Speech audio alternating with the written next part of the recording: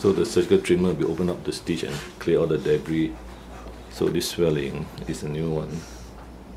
Uh, it's probably some pus inside tissues.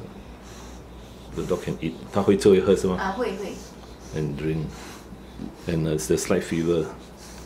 Now you see the, the 哦 membrane. 有有有 fever 啊？ Mm, slight fever. Capillary filtration very good. Color very good. Uh. You see very pink. Mm. Normally it could be a hematoma. 它弄到它头是吗？撞到。因为我们也不知道他弄到。 Normally it's a 不知道 hematoma, but uh, 因为没有。 it looks like hematoma. Yeah. Mm, 在里面的。And uh, since I didn't see the first case, it was by Dr. Daniel, so I have to open up and see. Uh.